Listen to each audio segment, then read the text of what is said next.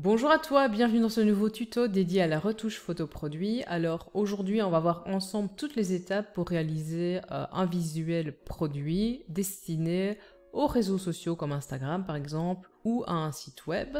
Donc on va voir euh, un workflow, donc un processus euh, facile et efficace pour, pour que tu puisses réaliser donc une retouche produit à la base d'une image telle que celle-ci. Donc je t'invite franchement à réaliser ce tuto sur base d'une photo à toi ou euh, sur base d'une photo de tes clients pour, euh, t'entraîner, ok? Donc tout d'abord un petit mot sur la prise de vue, euh, si ça t'intéresse et si tu prends les photos toi-même, ça va t'intéresser. Sinon tu peux skipper ce chapitre-ci et aller au suivant. Donc pour réaliser ce type de prise de vue plutôt en lévitation, ce que, j'utilise en tout cas ce sont des fils en nylon comme tu peux le, le voir ici ok, qui sont euh, donc accrochés à des barres studio, donc à, des pieds lumière studio. Ensuite, j'ai utilisé un fond de couleur noire, donc un fond papier de couleur noire, et j'ai utilisé deux flashs. Donc un flash ici avec un gel bleu pour créer cet halo euh, bleu sur le fond noir en réalité, et ensuite un deuxième flash sur lequel j'ai mis euh, un gel vert pour avoir cet effet-ci. Et alors, pour obtenir, euh, donc pour capter euh, la lumière ici euh, du voyant, il faut travailler en pause plus longue parce que si on travaille par exemple à 1 centième, donc au niveau de la prise de vue en général en studio on va travailler à 1 centième, hein, donc 1 centième de seconde, je pas, je ne pourrais pas capter la lumière ici de mon voyant. Donc ici ce que j'ai fait c'est que j'ai travaillé avec une, pause plus longue, peut-être euh, une demi-seconde, quelque chose comme ça, je ne sais plus exactement, pour capter euh, cette lumière-ci, ok? Et en même temps, capter la lumière des flashs, voilà. Donc ça, c'était pour euh, la prise de vue. Si tu as des questions par rapport à ça, n'hésite pas à me le faire savoir en commentaire. Je pourrais faire un tuto qui explique vraiment la prise de vue en studio et en mode connecté, etc. voilà, ok donc maintenant, on va voir comment euh, exécuter donc la retouche. Donc euh, pour la retouche ici, on, a, on va utiliser simplement la photo du produit et une photo de texture. Tu peux utiliser, euh, je te dirai où j'ai trouvé cette photo de texture ici en dessous, mais tu peux utiliser franchement n'importe quelle texture de ton choix. Ok, donc c'est parti, on va rentrer dans le vif du sujet. Donc tout d'abord, j'ai récupéré l'image initiale que j'ai euh, transformé directement en objet dynamique euh, pour faire les premiers réglages. Donc je commence toujours par cette première phase euh, de, de, réglage de base. Donc je vais aller dans filtre et ici je vais aller dans filtre caméra raw et je vais déjà faire quelques petits réglages initiaux. Donc je vais ajouter un peu de luminosité avec l'exposition. Je vais récupérer des détails dans les tons foncés ok, donc notamment ici dans le queer, etc. Euh, ensuite, je vais déjà ajouter un peu de texture, donc ce qui va me donner plus de détails ici, notamment euh, dans, la peau du queer ici, et euh, plus de clarté. Ok. Voilà, comme ça, c'est pas mal. On va démarrer sur, sur cette base-là. Et alors ici, je fais OK. Voilà. Alors sur cette base-là, on va commencer à, faire les retouches initiales. Parce qu'en réalité, même si euh, notre, euh, notre produit semble super propre et tout, il y a toujours des petites poussières euh, qui restent. donc, et en l'occurrence, quand on travaille avec des flashs, les flashs mettent vraiment le focus sur les poussières. Donc ici, ce qu'on va faire, c'est créer un nouveau calque qu'on va renommer retouche. Et alors, on va utiliser l'outil ici correcteur localisé. Ok, on va cocher bien ici, échantillonner tous les calques. Ici, je coche contenu pris en compte. Je me positionne bien sur mon, calque ici. Et alors, on va prendre un pinceau. Euh, et d'ailleurs, on va se mettre à 300% ici pour bien voir ce qu'on fait. On va prendre un pinceau qui englobe la tâche chaque fois. Et alors, chaque fois, on clique. Hein. Enfin, on peint sur la tâche en quelque sorte. De manière à enlever toutes les poussières. Donc quand je fais ça, j'enlève les poussières.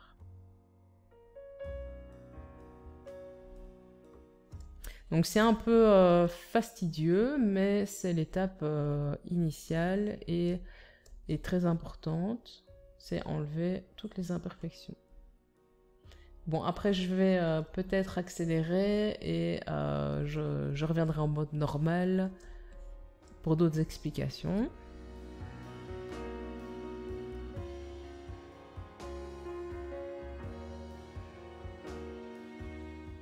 Donc j'ai aussi euh, des tâches qui sont liées à mon, à mon, au capteur en fait, hein, capteur de mon appareil photo. Donc je t'invite à, à nettoyer aussi ton capteur euh, assez souvent. Voilà. Donc une fois que cette étape-là est faite,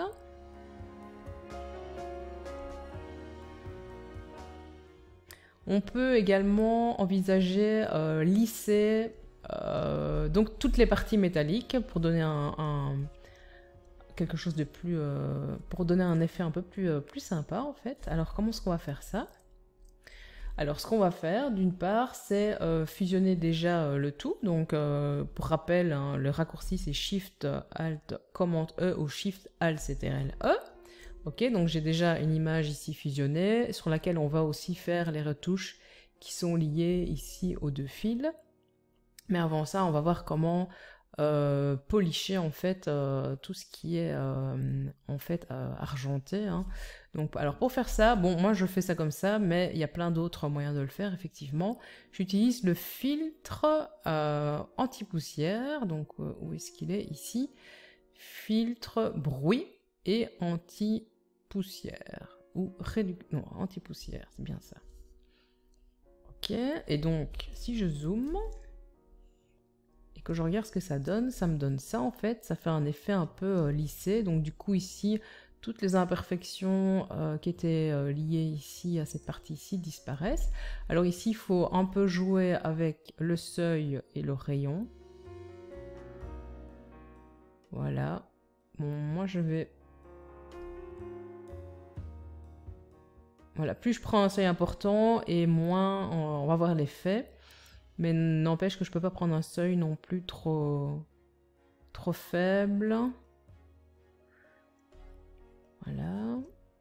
Je vais prendre, ça, ça me semble pas mal, et alors je fais OK. Du coup, euh, ceci va s'appliquer euh, vraiment à l'ensemble de, mon calque. C'est pas, pas tout à fait ça que je veux. Donc tout simplement ici, on va renommer ce calque euh, polissage, par exemple. OK. Et alors du coup, on va appliquer un masque de fusion. OK.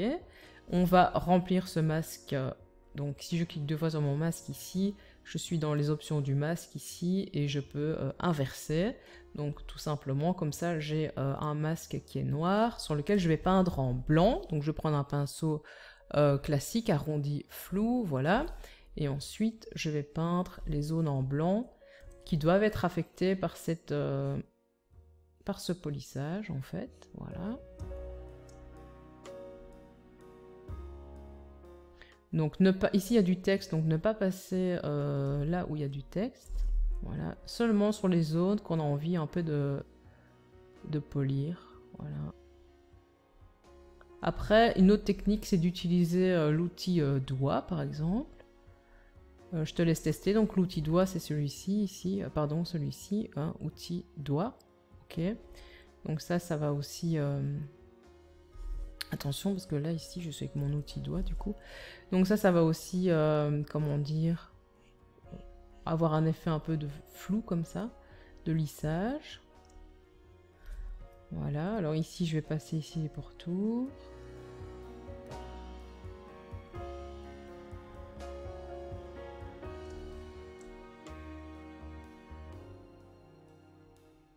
S'il y a des zones sur lesquelles je ne souhaite pas passer, je reviens avec le noir ici et euh, je peins en noir. hein.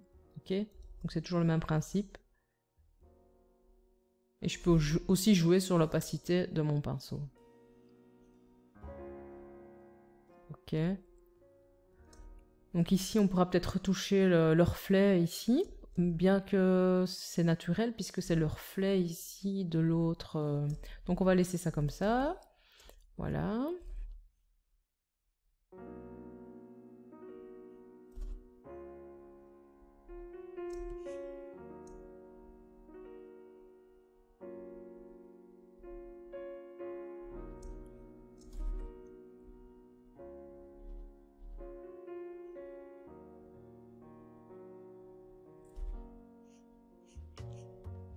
Voilà, donc cette technique me permet aussi d'effacer les, traces de doigts parce qu'il n'y a rien à faire. Euh, il faut vraiment travailler avec des gants blancs quand on travaille euh, la photographie de produit pour éviter euh, les traces de doigts sur les, sur les surfaces un petit peu réfléchissantes, comme ça, ok. C'est super important. Donc voilà, donc ça c'était pour le, le, lissage, donc je te montre avant et après. Donc voilà, ça c'était sans, donc on voit forcément les traces sur le métal, etc et avec. Après, c'est une question de goût. Si tu préfères garder le, métal brut, bien voilà, ok. Donc maintenant, ce qu'on va faire, c'est à nouveau euh, une fusion. Donc euh, Shift euh, Alt Command E ou CTRL E. Ok, donc on retravaille à nouveau sur un mode fusionné. Donc, je vais appeler ça fusion 1. Et là, on va faire en sorte d'éliminer ici les, les, fils de nylon. Alors pour faire ça, plusieurs façons de le faire, comme d'habitude. Euh, je te conseille de prendre par exemple l'outil euh, lasso, donc raccourci L, de sélectionner ici euh, la zone. Voilà. Je prends tour, mais pas trop. Et ensuite, on va faire ça séparément. On va d'abord faire cette partie-ci. On va aller dans édition et remplissage d'après le contenu. Alors, remplissage d'après le contenu, donc pour rappel, tout ce qui est vert va être utilisé pour remplir cette zone-là. Or, ici, euh, je, ne vais pas sélectionner ici le casque pour aller remplir cette zone-là. Je vais plutôt choisir une zone qui va être proche de la couleur euh, souhaitée. Parce que du coup, sinon, je vais avoir des nuances de bleu et ça ne va pas aller. Donc, je vais faire ça comme ça. Et ici, je vois le résultat ici et ça me semble bien.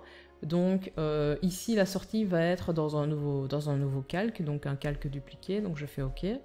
Donc du coup, voilà, j'ai ma correction sur euh, un calque dupliqué qui s'appelle Fusion 1 copie, sur laquelle je vais maintenant euh, faire cette zone-ci. Donc toujours avec mon outil lasso, donc raccourci L ici, je sélectionne la zone, tac.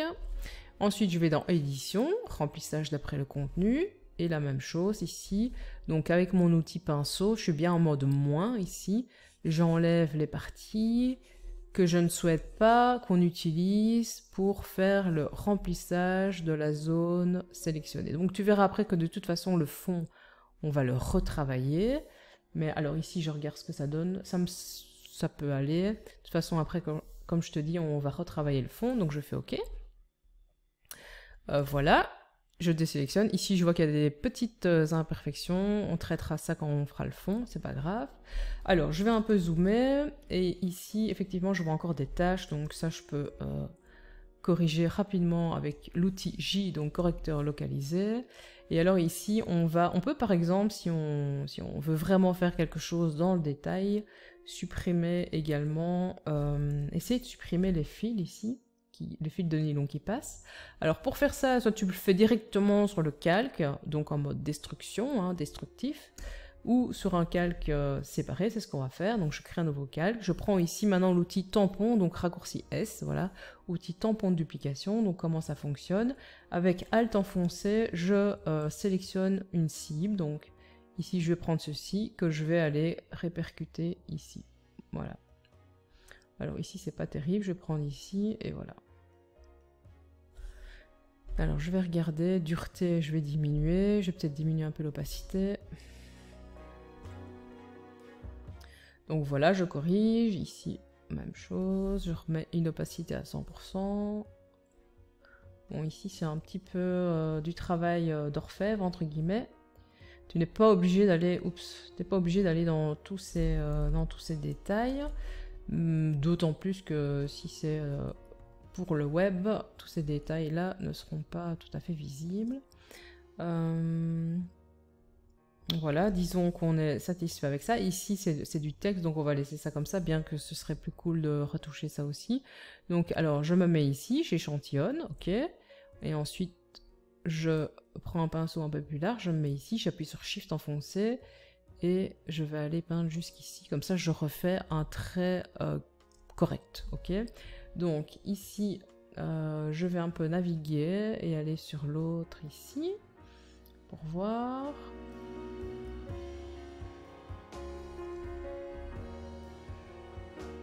S'il y a encore des choses à corriger, notamment ici.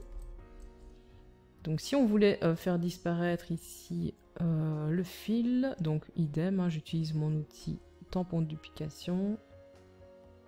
Voilà.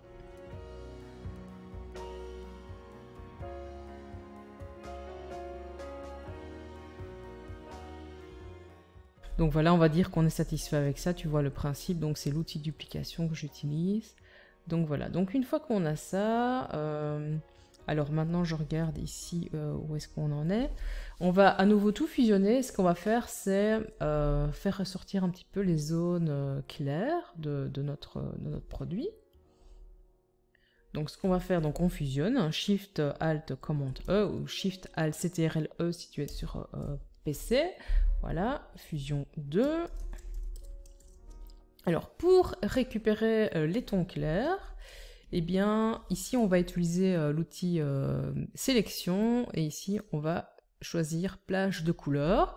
Et alors là, on peut choisir ici les tons clairs, ok Et en fonction de la tolérance, donc, on va sélectionner la zone souhaitée. Donc ici, en l'occurrence, c'est pour récupérer ici notamment la zone ici euh, du, euh, de la lupiote entre guillemets et toutes les zones réfléchissantes. Donc je fais ok. Donc ainsi on voit euh, la sélection. Ok. Et alors du coup je vais créer un nouveau calque sur cette sélection. Et en fait je vais remplir cette sélection de blanc. Donc je fais un commande retour en arrière et je remplis donc cette sélection de blanc. Donc ça c'est les hautes lumières en fait. Ok donc je renomme ça haute lumière. Donc ça me, souligne les zones qui sont euh, brillantes en fait, hein. comme tu peux le voir. Alors si c'est un peu trop, et eh bien ici on va diminuer l'opacité tout simplement. Voilà, on peut peut-être essayer de jouer aussi sur le, le mode. Est-ce que c'est c'est mieux superposition, incrustation par exemple, lumière tamisée, etc. Donc incrustation par exemple, voilà. Hmm. si je suis en normal. Ici, je trouve que ça fait un peu trop. Par contre, j'aime bien ici l'aspect. Donc, je vais quand même un peu diminuer encore l'opacité.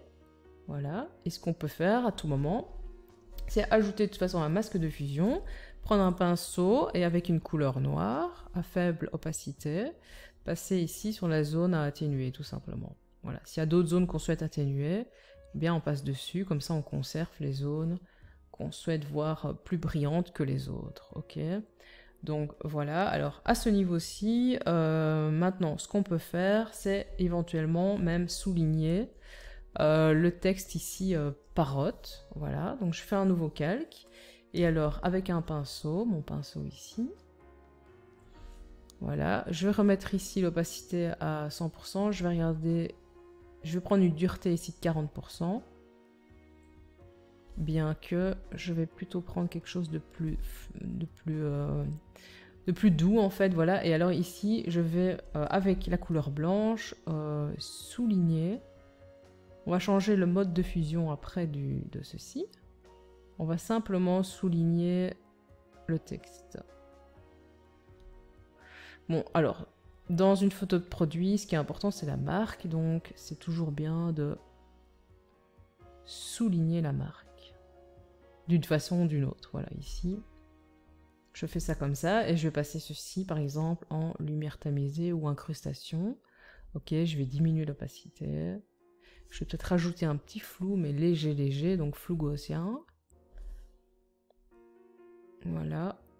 1.3, voilà, ok. Et ici, euh, parotte.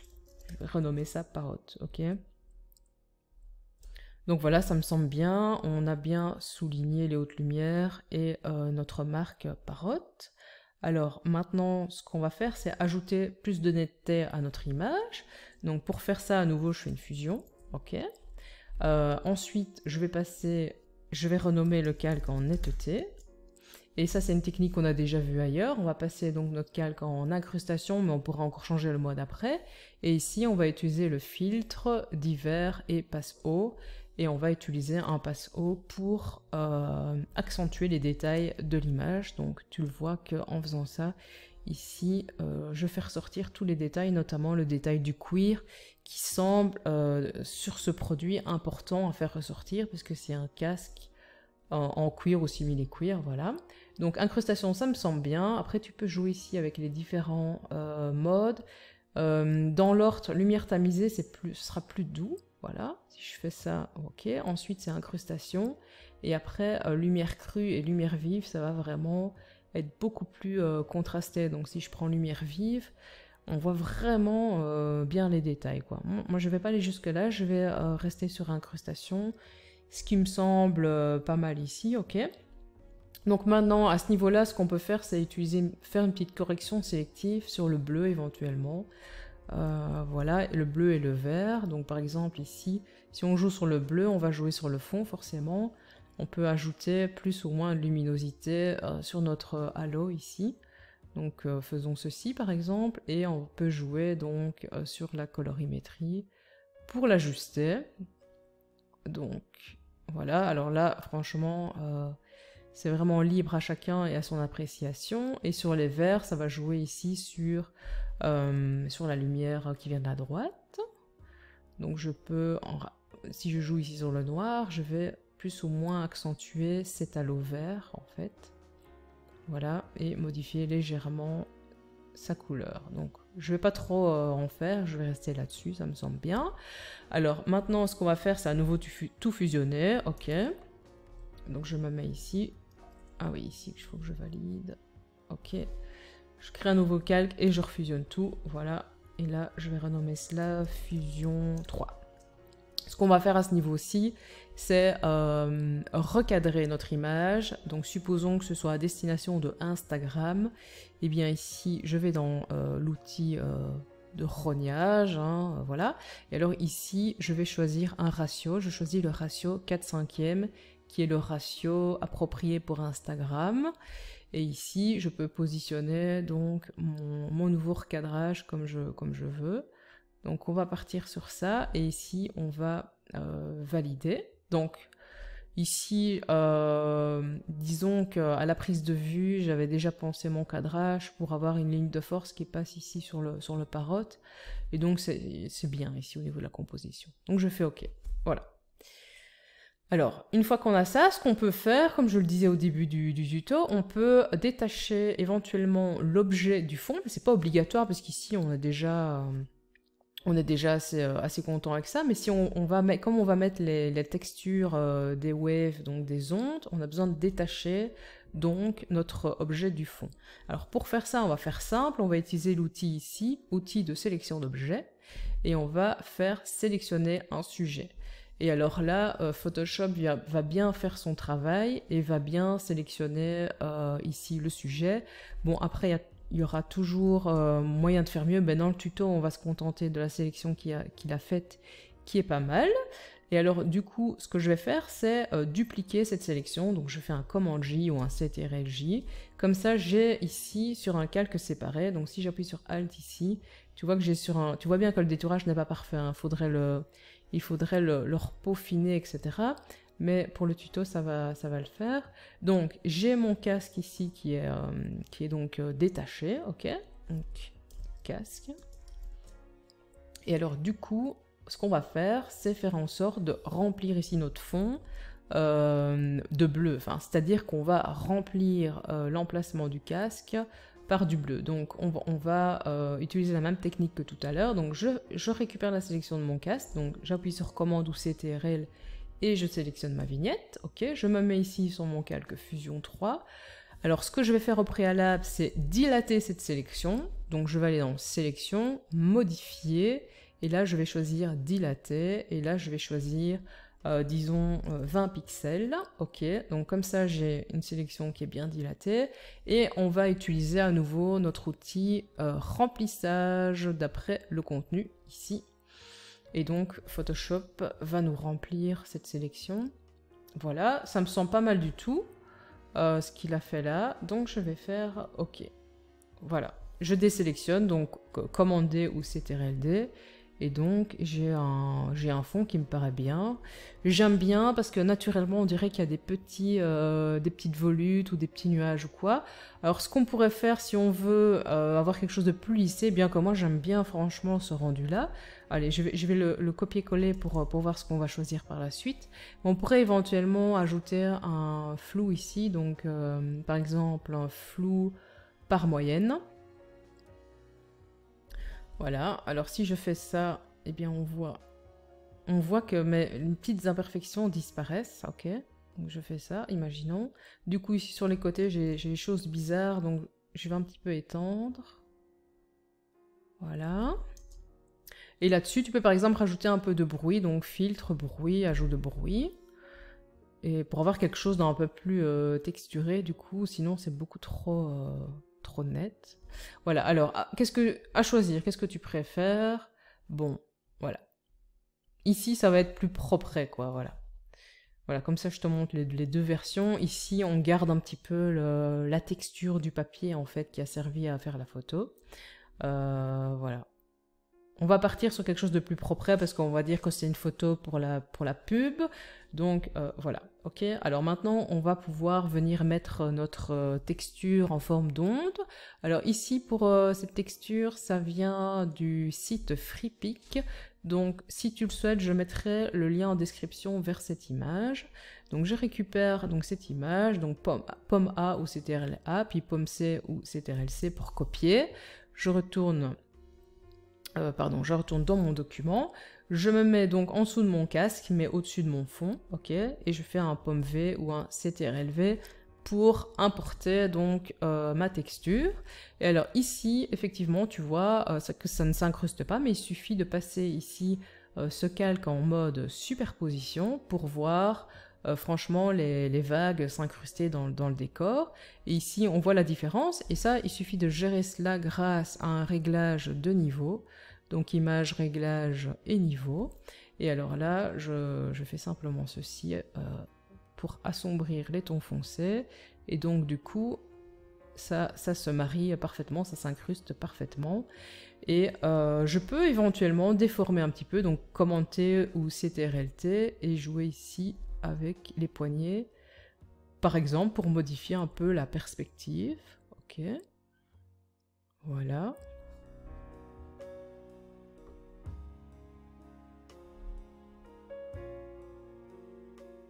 Ça, c'est pas mal du tout. Ok, alors ce que j'avais fait dans la démo, c'est que j'ai euh, dupliqué ceci.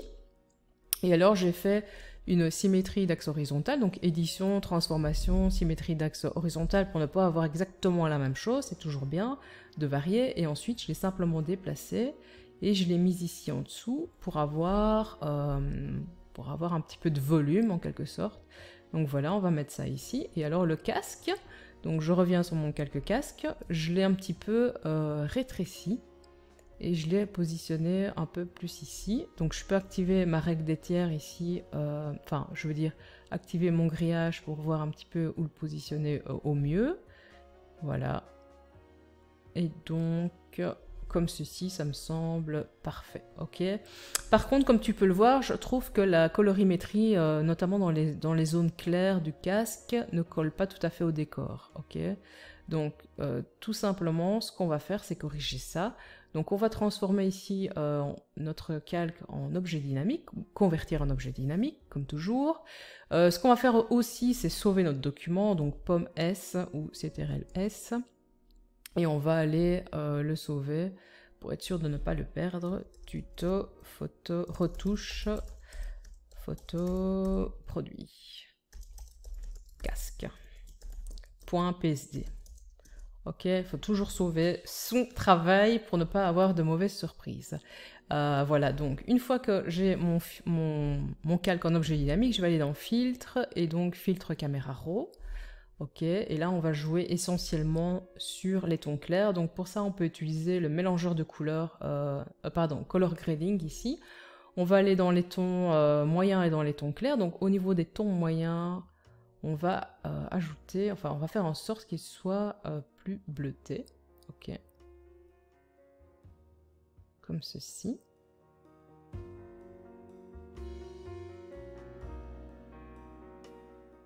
Donc pas mauve, mais bleu, hein, ok. Et ici, dans les tons clairs, on va faire la même chose. On va dire qu'ils sont un peu bleutés. Ok, et par exemple ici au niveau des tons foncés, tu peux également jouer un peu sur les tons foncés et euh, jouer sur la couleur des tons foncés et des ombres. Donc ici, je vais faire aussi quelque chose comme ça. Voilà, alors on va faire OK, on va regarder ce que ça donne. Alors du coup, on voit que ça s'intègre beaucoup mieux que sans. Donc si ici je, rends invisible l'effet, on voit avant et après, c'est beaucoup mieux. Ok? Donc tu le vois, c'est beaucoup mieux comme ça. Ok? Donc on arrive progressivement à la fin de ce tuto. Alors euh, je regarde où, où j'en suis. Euh, ce qu'on peut également faire à la fin, si tu as... Euh, Nick Collection qui est euh, donc la suite Nick Collection qui est installée. Sinon, tu peux faire les réglages finaux, euh, franchement aussi avec un filtre caméra raw. Mais ici, euh, moi j'étais parti sur un filtre donc ici de Nick Collection Color FX Pro qui est très pratique pour finaliser l'image. Et ici, on va choisir Cross Processing. Voilà, et là, on va choisir la méthode qu'on souhaite et on peut voir l'aperçu. Donc ici, moi j'ai envie de quelque chose qui se rapproche de ceci en fait. Ça accentue mes bleus, euh, j'aime beaucoup, et j'ai accentué un petit peu l'intensité ici. Voilà. Et je fais OK. Et je pense qu'à ce niveau-ci, on peut être euh, vachement satisfait du résultat. Donc tu peux voir qu'en une demi-heure, en fait, tu peux réaliser euh, une, photo produit euh, tout à fait satisfaisante pour mettre en avant un produit à destination d'Instagram. Donc ensuite, tu peux exporter ton image pour le web, hein, fichier, exporter et enregistrer pour le web. Et, on va le faire, hein, comme ça tu vois euh, jusqu'au bout. Enregistrer pour le web. Ici, tu vas choisir donc le format JPEG. Alors, si c'est pour Instagram, tu n'es pas obligé de choisir quelque chose de très grand en taille. Donc une hauteur de 1500, c'est tout à fait euh, suffisant. Ensuite, tu fais enregistrer et tu choisis l'emplacement euh, sur ton ordinateur pour enregistrer. Ok? Donc voilà. Donc j'espère que ce tuto t'aurait été utile. Si c'est le cas, n'hésite pas à me le dire en commentaire. Et si tu veux plus de tutos dans ce style-ci, donc retouche photo produit, mise en avant de produits, etc. pour euh, soit euh, une boutique ou soit pour une ligne de produits, n'hésite pas à me le dire en commentaire. Si c'est la première fois que tu viens sur cette chaîne, je t'invite à t'abonner et activer la petite cloche puisque je publie euh, deux tutos par semaine. Et n'oublie pas que tu peux recevoir ta mini formation offerte, donc c'est deux heures de tuto et trois ateliers créatifs Photoshop offerts. Le lien est en description. Je te dis à bientôt dans d'autres tutos. Bonne retouche